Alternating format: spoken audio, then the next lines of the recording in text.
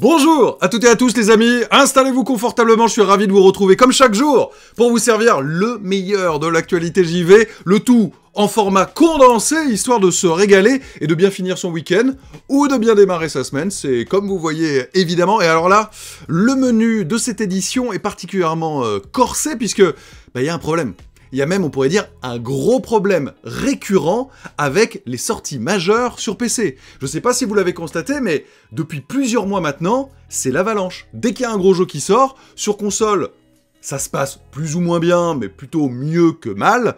Et sur PC, bah, c'est la litanie euh, des problèmes techniques, euh, des mauvaises optimisations, etc. Et là, en l'occurrence, ça touche la grosse sortie du moment, à savoir Star Wars Jedi Survivor. Forcément, les joueurs expriment leur mécontentement, les notes sont extraordinairement basses des utilisateurs. Bref, on va voir ce qui se passe parce que la réponse des développeurs est super éclairante sur la réalité de la situation, et qui touche spécifiquement le PC, enfin les PC, et c'est bien le fait qu'il y en a plusieurs, avec plusieurs configurations, qui est un peu dans l'œil du cyclone. On verra aussi que du côté de Nintendo, bah, il y a plein de choses qui se passent, oui. Le film Super Mario franchit la barre du milliard, mais Nintendo euh, annonce aussi quelque chose d'intéressant du côté de la Gamescom. Et puis, attendez, mais, mais qu'est-ce qui nous arrive?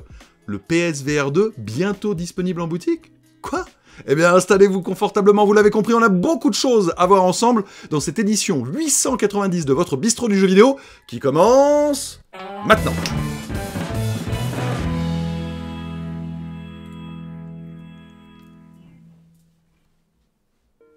Bon les amis, avant de se lancer, j'avais envie de partager avec vous bah, deux bonnes nouvelles qui risquent de faire plaisir aux abonnés de la chaîne, puisque elles concernent vraiment toutes les personnes qui sont abonnées, c'est le petit bouton là qui se trouve euh, juste à côté de vous.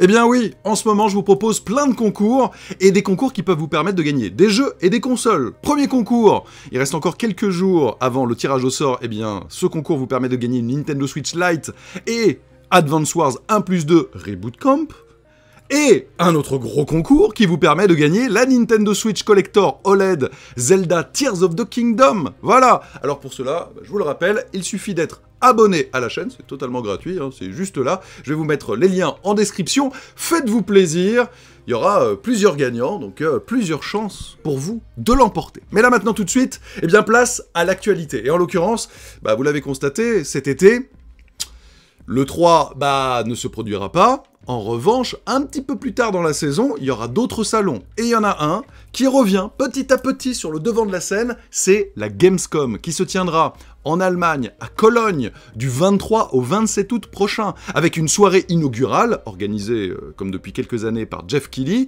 avec l'Opening Night Live, qui là se déroulera le jour d'avant, le 22 août. Eh bien, ils ont une très bonne nouvelle à annoncer aux joueurs qui comptaient se rendre à l'événement, puisque eh ben ça y est, c'est officiel, Nintendo sera de la fête. Et ça, c'est quand même, ma foi, euh, plutôt cool. Voici euh, la communication officielle.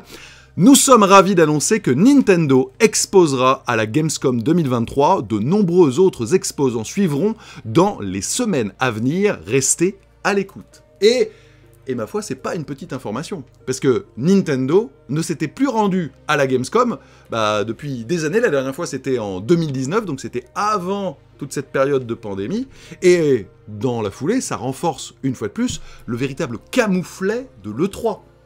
E3 qui ne s'est pas tenu parce que ni Microsoft, ni Nintendo, ni PlayStation n'ont daigné venir. Et la Gamescom, plus modeste, est en train de récupérer des constructeurs. Il y a déjà Nintendo, alors quid de PlayStation et de Xbox? Ça, on verra bien. Alors j'ai une petite interrogation, cela dit, euh, au passage, à savoir, euh, bah, qu'est-ce que Nintendo va véritablement présenter, etc. Est-ce qu'il y aura un petit peu de nouveauté? Parce que, dans l'absolu, leur gros jeu proche, Zelda Tears of the Kingdom, bah, ce sera déjà sorti. Pikmin 4, ce sera lui aussi déjà sorti, puisque ce sera en juillet 2023, c'est sorti euh, sur Switch. Donc est-ce que ce sera juste un petit peu de la redite pour celles et ceux qui n'ont pas encore basculé? Ou bien il y aura aussi euh, peut-être d'autres annonces, etc., qui pourraient avoir lieu au cœur de l'été. Eh bien écoutez, nous verrons bien, mais en tout cas c'est un bon signal, et c'est une très bonne chose pour la Gamescom. On reste dans l'univers Nintendo si vous voulez bien? Parfait. Let's go. Puisque là, c'est le sommet de la montagne. Ça y est, ça y est, c'est officiel. Oui, Super Mario, le film, vient de franchir la barre du milliard de dollars générés au box-office mondial. États-Unis, reste du monde, etc. Et alors, juste pour peser un petit peu l'importance de ce succès, bah, c'est déjà le plus gros succès de l'année 2023. Déjà, rien que ça, c'est quand même, ma foi, plutôt pas mal pour un film qui, je vous le rappelle en plus, est euh, conçu en France. Et oui, Illumination Paris la scène de l'animation euh, française et parisienne en l'occurrence, entre Illumination et Fortiche, euh, bah, c'est quand même vraiment le très très très très haut du panier euh, mondial. On peut quand même les féliciter. Et toujours pareil, pour considérer un peu, comprendre un peu l'impact de ce film Super Mario, il faut réaliser que seulement 5 films depuis la fin de la pandémie ont franchi la barre du milliard. Parmi ces 5 films, c'est Spider-Man No Way Home, Top Gun Maverick, Jurassic World Dominion, Bon, moins ok. Avatar, The Way of the Water. La voie de l'eau. Bon. Eh ben, Super Mario, le film, il se glisse là-dedans. Et là, moi, je dis, bah, c'est vraiment mérité. C'est un film feel good, sans vulgarité, sans propagande X ou Y. Bref, un vrai, un vrai film familial. Et ça fait du bien. C'est plus le cas depuis un bon bout de temps. Et très clairement, je trouve que entre les jeux et donc la puissance des licences Nintendo, les Mario, les Zelda, Donkey Kong et consorts, les films maintenant, puisqu'on sait que après Mario il y en aura d'autres, ainsi que les parcs d'attractions, avec l'accord avec Universal, moi je trouve que Nintendo devient plus que jamais à mes yeux le nouveau Disney. Et on en reparlera euh, probablement, vous me direz un peu dans les commentaires ce que vous en pensez, mais je pense que là, en fait, on est en train d'assister à l'âge d'or de Nintendo. Certains pouvaient penser que ah bah c'était dans le passé avec la Super Nintendo, la NES. Non non non non, l'âge d'or de Nintendo, l'explosion en fait de Nintendo au niveau euh, mondial, je crois que c'est en ce moment qu'on est en train de la vivre. Et s'ils réussissent bien la transition avec leur nouvelle machine, c'est quand même vraiment très très très impressionnant euh, le petit artisan de Kyoto, euh, ce qu'il arrive à faire en termes de rayonnement culturel finalement à travers le monde et à travers les décennies. Bon, allez, on enchaîne avec une autre news, et on va parler d'un autre constructeur, en l'occurrence PlayStation. Mais dites-moi pas que c'est pas vrai. Mais dites-moi pas que c'est pas vrai. Qu'est-ce que c'est que cette histoire? Attendez, nous allons parler du PlayStation VR 2, avec une annonce que beaucoup attendaient, espéraient, mais qui ne venait jamais. Alors, de quoi s'agit-il? Eh bien, PlayStation a balancé, au détour d'un petit tweet, voilà, un petit tweetounet, et eh bah ben, qu'en fait, ça y est, le PlayStation VR 2 allait arriver, être disponible chez les revendeurs. Alors pragmatiquement, euh, ça dit toujours pas quand, hein, précisément. Mais on se dit que au cours du mois de mai, probablement, les choses vont enfin se décongestionner. Alors, d'ailleurs, je vous en parle très prochainement dans une belle vidéo tournée à l'étranger, que les insiders ont d'ailleurs déjà pu découvrir en avant-première, et ça leur a beaucoup plu. En tout cas, le PSVR 2, moi je trouve, on a vraiment besoin. Vous voyez ce que je veux dire Parce que depuis son lancement, c'est mort de pleine. Il n'y a plus aucune communication. À ce titre-là, moi je, moi je comprends pas ce que fait PlayStation. Enfin, si tu veux que ton masque ne marche pas, tu, fais exactement ça. Tu le mets pas en boutique, tu communiques pas autour de lui, etc. Tu, tu cadences pas trop tes sorties. Donc, eh bien écoutez, nous suivrons ça avec attention. J'espère aussi qu'il y aura de belles annonces dans un hypothétique potentiel, mais enfin qu'on sent qu'il arrive quand même, PlayStation Showcase dans les semaines et mois à venir. Est-ce que justement, le fait que ça y est, il arrive en boutique, chez nous, hein, parce qu'il y a d'autres territoires où c'est déjà le cas, hein, je vous en reparle très prochainement. Euh, eh ben, est-ce que ça va être en concomitance avec une communication peut-être un peu accrue? Écoutez, on suivra ça avec attention. Moi, j'espère que ça va marcher parce que je trouve que c'est vraiment un super masque. Parce que la VR, quand c'est bien fait, c'est vraiment ultra immersif et qualitatif. Vous me direz un petit peu ce que vous en pensez dans les commentaires. Bon Alors là, on arrive au gros sujet du jour. Et c'est un sujet euh, vraiment épineux. On va parler de Star Wars Jedi Survivor, au demeurant un super jeu, mais dans lequel il y a un vrai souci. Alors, de quoi s'agit-il? Eh bien, je vous en parle maintenant. Je l'avais souligné dans mon test, pour aller réécouter, d'ailleurs c'était quasiment en ouverture. Moi je trouve que c'est vraiment un super jeu, mais la technique est clairement perfectible. Je vous l'avais souligné dans mon test, que moi j'ai réalisé sur console, en l'occurrence sur PS5. Il y avait même des options comme le HDR qu'on nous avait demandé de ne pas activer parce que ça pouvait euh, créer des bugs, etc. Et je vous avais dit, faudra quand même attendre un petit peu les, les patchs Day One, hein, qu'on nous a promis, etc., pour voir un peu comment ça va se comporter. Cela dit, cela dit, faut quand même remettre les choses dans le contexte, moi j'ai eu aucun problème majeur, du moins sur ma version PS5, moi j'ai joué en mode qualité, et en mode qualité, ce que j'ai constaté, c'est que j'ai eu un crash une fois. Alors c'est pas cool, ça m'est arrivé une fois toute ma partie. Enfin, toute, euh, toute ma session globale de toutes les parties que j'ai pu faire sur le jeu. euh, voilà. Et, quelques affinages de texture pas terribles, et quelques bugs au niveau de la, de cape, parfois, du poncho et bidule. Bon, c'était pas non plus la mer à boire. Sauf que sur PC, sur PC, une fois de plus, eh ben c'est visiblement l'hécatombe. Regardez un petit peu. Sur Steam, les notes, elles sont aujourd'hui en moyenne, moyenne pour un jeu de cette ampleur-là, c'est pas bon, hein, sur plus de 9300 évaluations. Elles étaient même en mauvaise il y a quelques temps de cela, et quand on regarde euh, les textes des joueurs, c'est par pitié arrêtez de nous prendre pour des bip RTX 4070 quelle désillusion Là, honteux, avec ma 4090 Enfin, je veux dire, là, c'est des gens qui ont des grosses bécanes, des grosses machines, et seulement 25 FPS Non mais... Avec des drops à 7 FPS, sans y ajouter les crashs Il y a clairement un problème. Voilà, si même les grosses configs ça marche pas, euh, c'est chaud. J'ose à peine imaginer sur les petites. Idem, sur Metacritic, regardez, là on est sur la version PC, 1,3 score utilisateur. Les joueurs sont pas contents du tout. Mais alors vraiment, du tout. Et quelque part, est-ce que vous avez remarqué que depuis plusieurs mois maintenant, à chaque sortie de gros jeux PC, c'est la même chose. C'est problème technique sur problème technique. Il y en a, j'ai l'impression qu'il y a quasiment aucune grosse sortie, peut-être, euh, non, même pas, euh, qui a été épargnée. Et je parle vraiment des versions PC. Au point que les développeurs, Electronic Arts, Respawn, ont communiqué avec un petit message qui s'adresse aux joueurs PC. Regardez.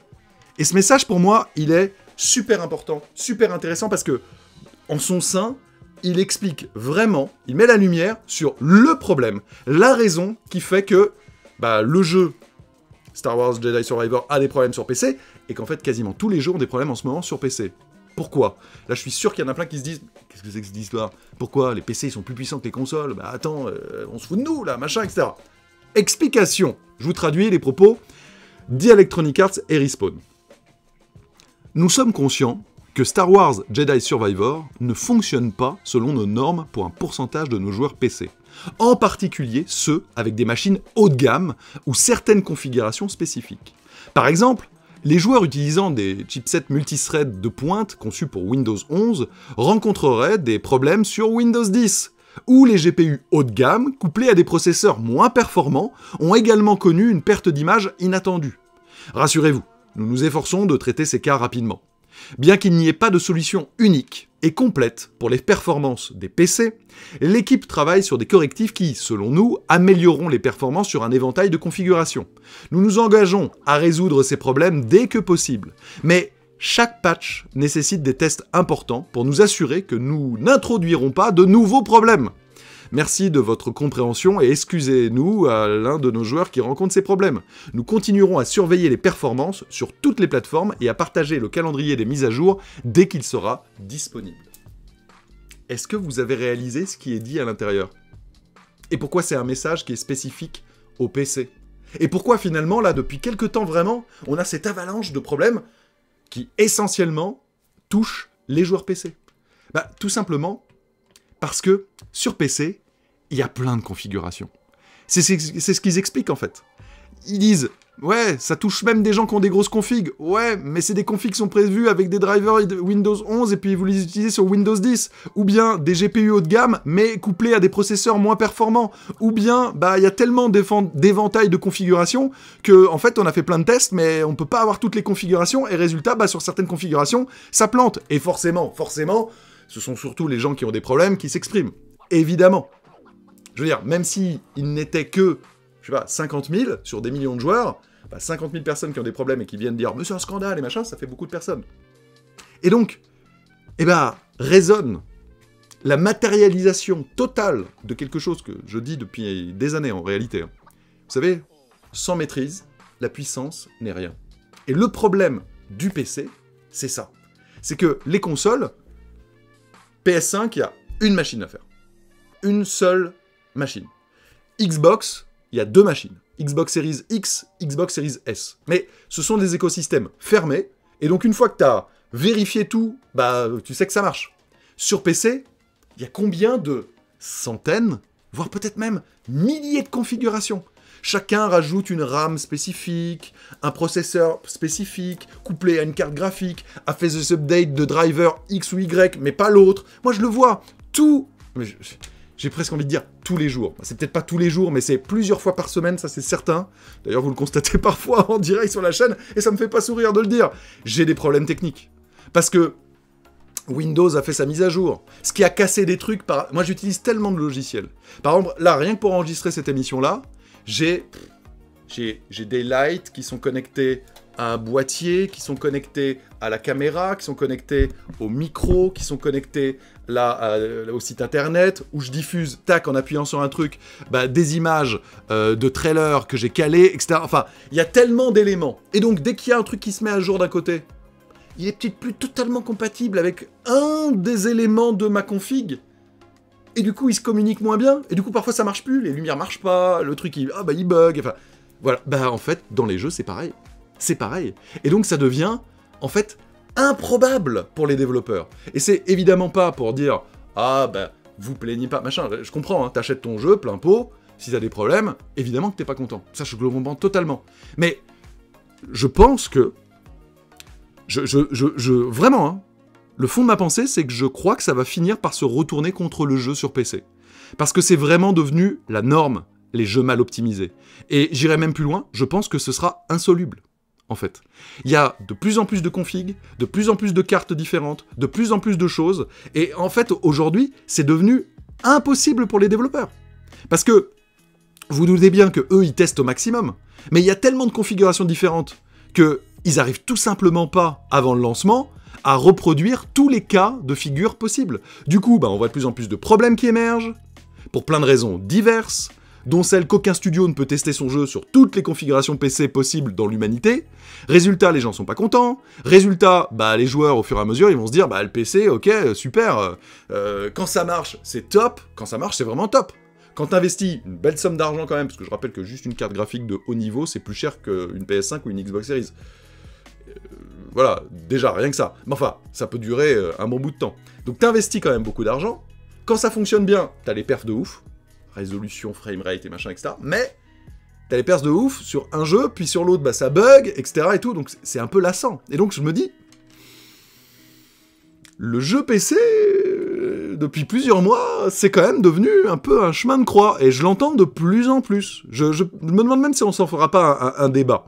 Et là où, quand même, sur console, bah ça se passe en vérité beaucoup mieux. Ça veut pas dire qu'il y a aucun bug, etc. Mais généralement, ils sont corrigés plus rapidement et ils sont moins euh, choquants. Je mets évidemment à part ce qui s'est passé sur Cyberpunk 2077, mais là en vérité c'était même pas une question de bug, c'était juste que le jeu n'aurait jamais dû sortir sur PS4 et Xbox One. Euh, voilà, il était juste pas adapté. On a voulu faire rentrer un truc qui était énorme dans, dans des machines qui n'arriveraient pas de toute manière à le faire tourner. L'erreur initiale, elle est plus là qu'autre chose. Bref, c'est vraiment un vaste sujet. Les joueurs mécontents, je comprends qu'ils le soient, et c'est légitime qu'ils l'expriment. Ça, là-dessus, autant il y a des fois, c'est un peu chelou, mais là, euh, je veux dire, t'achètes ton jeu plein pro, et puis ça marche pas, t'es pas content. Voilà, surtout encore plus quand t'as investi, je te dis, sur une grosse carte graphique. Mais, faut réaliser que, les amis, je crains que ce soit pas du tout la dernière fois. Non. Je crois que ça va se répéter encore. Parce qu'il y a vraiment trop de configs, et que c'est devenu intestable. Moi j'en ai parlé avec certains développeurs, ils me disaient, non mais quand, on a une version PC à faire, on fait... Ils adorent travailler sur PC. Hein. Je veux dire, les jeux sont développés sur PC. Mais quand il s'agit après de faire le portage et de checker les bugs, le QA sur toutes les versions, alors là c'est... Au revoir, merci Je, pars en vacances, moi. Hein, c'est improbable. C'est improbable. Bref, vous me direz ce que vous pensez de ce vaste et épineux problème et sujet. Je trouve qu'il est super intéressant et super important, et j'envoie des bonnes ondes évidemment sur les joueurs PC qui sont euh, concernés. Ça me fait évidemment pas du tout plaisir pour vous. Pour les autres, bah, vous me direz un petit peu comment ça se passe. Il y a quelques bugs encore qui, j'espère, vont être corrigés rapidement, mais enfin rien de aussi choquant euh, que ce que je suis en train de lire sur les versions PC. Voilà en tout cas ce que je pouvais vous dire aujourd'hui dans cette grosse vidéo de conclusion de week-end ou de bon début de semaine, voilà, ça fait plaisir. En tout cas, si ça vous a intéressé, n'oubliez pas le PAP, le pape, mais oui, enfin pas le pape avec un E, non, le pape, euh, le partage de cette vidéo sur vos réseaux sociaux, l'abonnement qui vous permet de participer au gros concours que je vous ai évoqué en début d'émission aussi, ainsi que eh ben, le petit pouce vers le haut, ça aide concrètement. Écrasez-moi cette barre de pouces, histoire de booster l'algorithme incroyable de YouTube pour la chaîne, bien sûr. Et puis en attendant, vous avez plein d'émissions qui vous attendent dans le catalogue, alors faites-vous plaisir, les amis. On se retrouve très vite. Vive notre passion du jeu vidéo. Et j'espère que ça va bien se passer avec vos jeux. À vous. Ciao